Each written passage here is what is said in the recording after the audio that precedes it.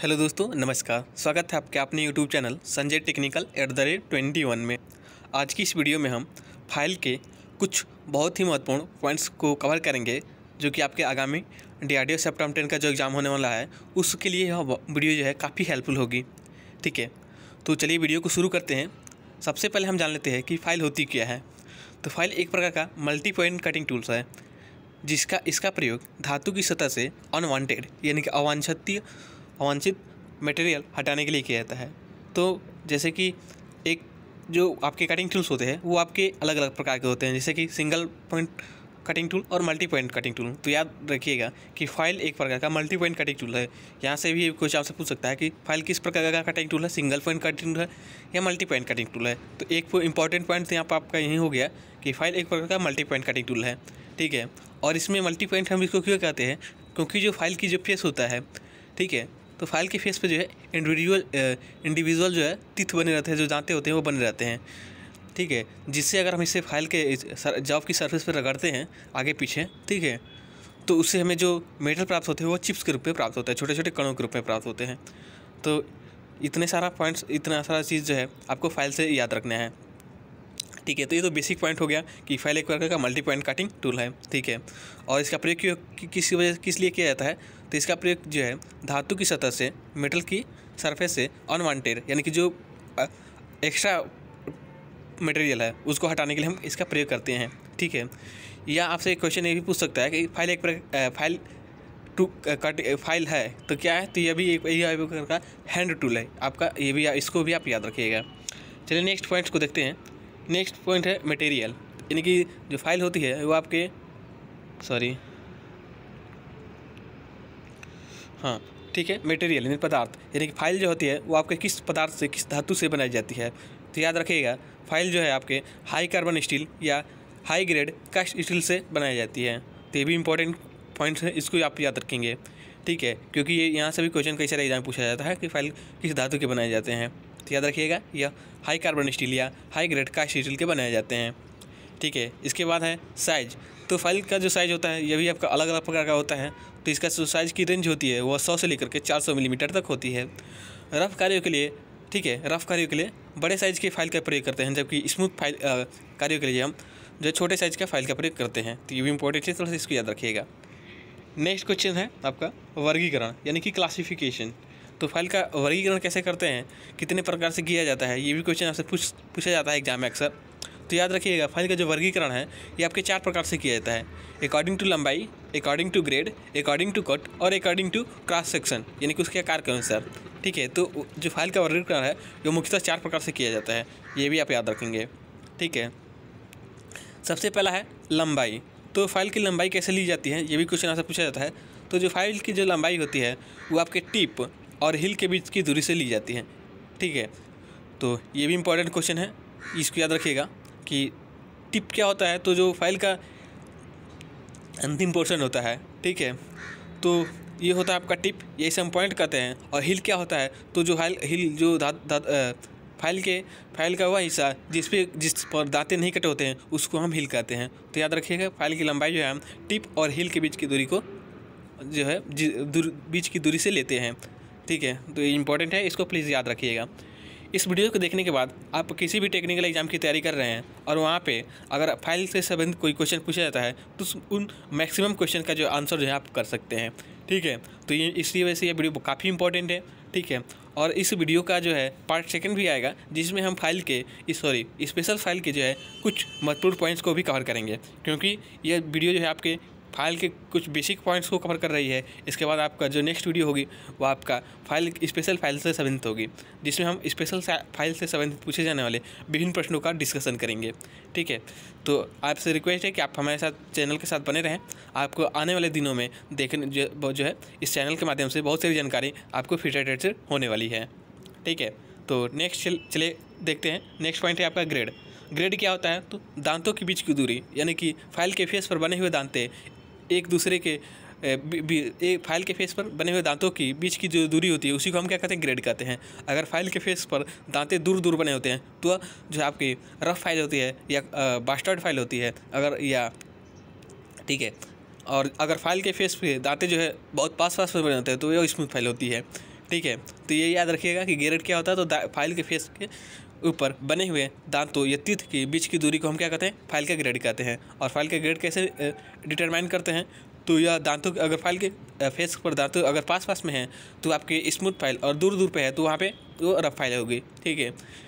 Next question है cut तो file के फेस पर कटे हुए दांतों का आकार एवं संख्या, ठीक है? तो फ़ाइल का जो फेस होता है, उस पर जो दांतें कटे होते हैं, जो तीथ बने होते हैं, उसका आकार और उसकी संख्या कितनी है, इसी को हम क्या कहते हैं कट कहते हैं। कट के हिसाब से आपकी चार फाइलें होती हैं, ठीक है? Single cut double cut curve cut और आस्प कट ये आपकी मुख्यतः चार फाइलें होती है कट के हिसाब से। और ग्रेड के हिसाब से बात करें तो ग्रेड के हिसाब से भी आपकी अलग अलग प्रकार की फाइलें होती हैं।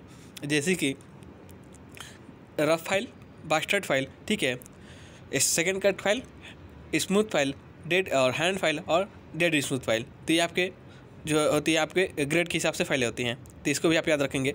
नेक्स्ट क्वेश्चन है आकार। तो फ़ाइल के क्रॉस सेक्शन के अनुसार इसका जो आकार का जो है वर्गीकरण किया जाता है। तो क्रॉस सेक्शन मतलब जिसका फ़ाइल का जो आकार की तरह कैसा है, उसके अनुसार से हम उसको क्रॉस सेक्शन कैसा है, उसके हिसाब से उसका आकार भी वर्गीकृत करते हैं अलग अलग आकार के फाइलें होती हैं आपको।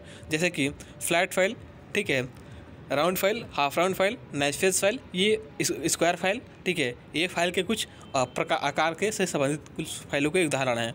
ठीक है तो ये भी इंपॉर्टेंट है इसको आप याद रखिएगा। क्रॉस सेक्शन के जो है फ़ाइल का ये क्यों ज़रूरत होती है? तो जॉब के अनुसार हम फ़ाइल का फ़ाइल का क्रॉस सेक्शन सॉरी जॉब के अनुसार जो है हम फ़ाइल के आकार का आ, जो है सिलेक्शन भी करते हैं। ठीक अगर किसी भी राउंड होल की होल की फाइलिंग करनी हो तो वहाँ पे हम राउंड फ़ाइल का यूज़ करेंगे। ठीक है? और इसके साथ ही नेक्स्ट कुछ पॉइंट्स हैं आपके फ़ाइल से संबंधित जो आपसे एग्ज़ाम में पूछे जाते हैं तो उस पॉइंट्स को भी आज कवर कर लेते हैं। नेक्स्ट पॉइंट है आपका फ़ाइल के टैंक और बॉडी को अलग करने वाले वग्राकार भाग को शोल्डर कहते हैं। तो ये भी इंपॉर्टेंट पॉइंट आपसे पूछ सकता है कि शोल्डर किसे कहते हैं। तो जो फ़ाइल का जो टैंक और बॉडी को अलग करने वाला जो पोर्शन होता है, जो भाग होता है, उसी को हम शोल्डर कहते हैं। तो ये भी इंपॉर्टेंट है, इसको आप याद रखेंगे। और इस वीडियो में शामिल सभी प्रश्न जो है आपके निमी के बुक से ही तैयार किए गए हैं।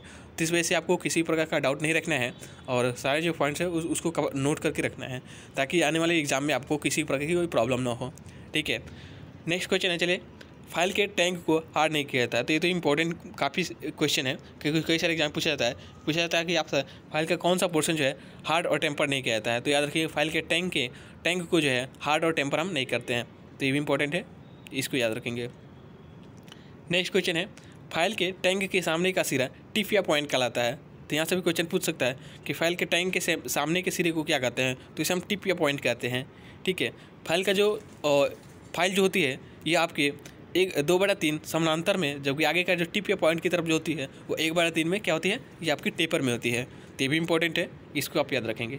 लेकिन एक फ़ाइल जो होती है, वो आपके उसका जो पूरा क्रॉस सेक्शन एरिया होता है वो समानांतर होता है। तो उसको भी आप याद रखना है जिसका नाम है हैंड फ़ाइल इसे हम ब्लंट फ़ाइल भी कहते हैं ठीक है?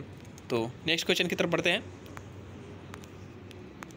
नेक्स्ट पॉइंट है आपका सिंगल कट फ़ाइल से सतह परिष्करण काफ़ी अच्छा प्राप्त होता है। तो ये भी क्वेश्चन आपसे पूछा जाता है कि किस फ़ाइल से क्या प्रयोग करके हम आ, आ, किस फ़ाइल से जो है सतह परिष्करण अच्छा प्राप्त होता है या अच्छी प्राप्त होती है।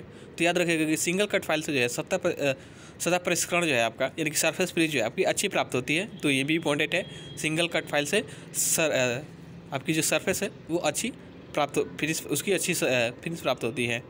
ठीक है? और सिंगल कट फ़ाइल क्या होती है? तो सिंगल कट फ़ाइल जो होती है, जिसके फेस पे आपके एक ही एंगल में एक ही दांते बने होते हैं। ठीक है? तो ये भी आप याद रखिएगा। और ये जो एंगल से सेंटर से लेंस से जो दांते बने होते हैं फ़ाइल के फेस पर, ये आपके सिक्सटी डिग्री पर बने होते हैं तो ये भी इंपॉर्टेंट है, इसको आप याद रखेंगे। नेक्स्ट क्वेश्चन है डबल कट फ़ाइल में प्रथम कट को ओवर कट कहते हैं। तो कट के हिसाब से आपने बताया था आपको कि चार प्रकार की फाइलें होती हैं single cut file double cut file ठीक है? इसके साथ ही कर्व कट और रास्प कट ये आपकी चार फाइलें होती हैं इसके कट के हिसाब से, ठीक है? तो डबल कट फ़ाइल में कह रहा है? कि जो प्रथम कट होता है, उसे ओवर कट कहते हैं। तो इसके फेस पे दो कट लगे रहते हैं, जिसको प्रथम, जिसमें प्रथम कट को ओवर कट जबकि सेकेंड कट को जहाँ उसे हम अप कट कहते हैं। तो जो प्रथम कट के जो एंगल होता है, वो आपका सेंट्रल लाइन से आपका सेवेंटी डिग्री पे होता है, जबकि दूसरा जो कट होता है, जिसे हम अप कट कहते हैं, उसका जो एंगल होता है वह फिफ्टी वन डिग्री होता है। ये भी आप इंपॉर्टेंट है, इसको याद रखिएगा। सिंगल कट के फ़ाइल के जो फेस पर दांते बने होते हैं, वो सेंट्रल लाइन से जो उसका झुकाव होता है, उसका सिक्सटी डिग्री होता है, जबकि डबल कट में दो फाइलें दो आपके क्या कहते होते हैं, वो तीर्थ बने रहते हैं। तो इनका जो एक पहला जो होता है, उसे प्रथम कट करते हैं और यह सेवेंटी डिग्री पर बना होता है सेंट्रल लाइन से। और जबकि दूसरा होता है, उसे अप कट करते हैं और यह फिफ्टी वन डिग्री पर बना होता है। तो ये भी इंपॉर्टेंट है, इसको आप याद रखेंगे। नेक्स्ट क्वेश्चन है, रास कट फ़ाइल का प्रयोग लकड़ी व चमड़ा की फाइलिंग के लिए करते हैं। तो ये भी इंपॉर्टेंट है, आपसे कभी कभी एग्ज़ाम पूछ लिया जाता है कि लकड़ी या चमड़ा की फाइलिंग के लिए किस फ़ाइल का प्रयोग करते हैं। तो याद रखिएगा, लकड़ी और चमड़ा की फाइलिंग के लिए हम रास कट फ़ाइल का प्रयोग करते हैं। ठीक है। और रास कट फ़ाइल से संबंधित एक और क्वेश्चन आपसे पूछा जाता है अक्सर एग्ज़ाम में कि रास कट फ़ाइल का क्रॉस सेक्शन कैसा होता है? तो यह हाफ़ राउंड होता है ये भी इंपॉर्टेंट है इसको आप याद रखेंगे। ठीक है। और नेक्स्ट क्वेश्चन है टिन व प्लास्टिक की फाइलिंग के लिए कर्व कट फ़ाइल का प्रयोग करते हैं। तो ये भी आप इंपॉर्टेंट पॉइंट्स है इसको आप याद रखिएगा। टिन या प्लास्टिक की फाइलिंग के लिए हम कर्व कट फ़ाइल का प्रयोग करते हैं। एक क्वेश्चन आपसे यहाँ यहाँ पे और पूछा जा सकता है कि आ, क्या कहते हैं? डीप कटिंग एक्शन के लिए डीप कटिंग एक्शन के लिए किस फ़ाइल का प्रयोग करते हैं? तो याद रखिएगा डीप कटिंग एक्शन के लिए भी हम कर्व कट फ़ाइल का ही प्रयोग करते हैं। ठीक है? नेक्स्ट क्वेश्चन है परिष्कृत साइज़ तक जाब है ये? ठीक है जब नहीं है जाब को लाने के लिए सेकेंड कट फ़ाइल का प्रयोग करते हैं। तो याद रखिएगा कि फिनिश जाब के जाब को फिनिश साइज़ तक लाने के लिए हम सेकेंड कट फ़ाइल का प्रयोग करते हैं। ठीक है? आपसे क्वेश्चन आपसे पूछ सकता है कि सेकेंड कट फ़ाइल का प्रयोग और जो है सेकेंड कट निम्नलिखित में से कौन सी फ़ाइल जो है आपके जो ग्रेड के हिसाब से नहीं है? तो आप जो रखिएगा जैसे कि सेकेंड कट फ़ाइल होती है वो आपके ग्रेड के हिसाब से नहीं होती है। ये आपके सॉरी ये कट के हिसाब से नहीं होती है सॉरी सॉरी आपसे क्वेश्चन पूछ सकता है कि निम्नलिखित में से कौन सी फ़ाइल जो है आपका आ, कट के हिसाब से नहीं है। तो याद रखिएगा जो सेकेंड कट फ़ाइल है ये आपके कट के हिसाब से नहीं होती है ये आपके ग्रेड के हिसाब से होती है ठीक है?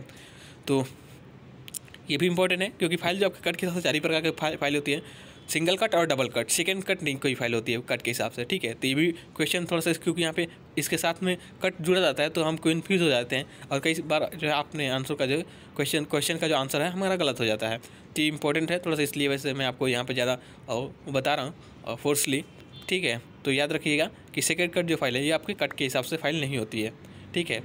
Single cut double cut rasp cut और कर्व कट यही आपकी फाइलें होती हैं डबल उसके कट के हिसाब से। जो सेकेंड कट फ़ाइल है, ये आपके ग्रेड के हिसाब से फ़ाइल होती है। ठीक है। नेक्स्ट क्वेश्चन है। हाई ग्रेड स्मूथ के साथ साथ सही साइज़ का जब प्राप्त करने के लिए डिस डेड स्मूथ फ़ाइल का प्रयोग करते हैं। तो ये भी इंपॉर्टेंट क्वेश्चन है। एग्ज़ाम में आपसे पूछ सकता है। हाई ग्रेड स्मूथ फिनिशिंग के साथ साथ जब का सही साइज़ साइज़ प्राप्त करने के लिए हम किस फ़ाइल का प्रयोग कर, प्रयोग करते हैं? तो याद रखिएगा, उसके लिए हम डेड स्मूथ फ़ाइल का प्रयोग करते हैं। ग्रेड के हिसाब से जो फाइलें होती हैं आपकी rough rough file bastard file ठीक है। सेकेंड कट फ़ाइल ठीक है। उसके बाद आपकी हैंड फ़ाइल हो गई, ठीक है? और स्मूथ स्मूथ फ़ाइल और डेड स्मूथ फ़ाइल, ठीक है? तो ये आपकी ग्रेड के हिसाब से कुछ फाइलें होती हैं।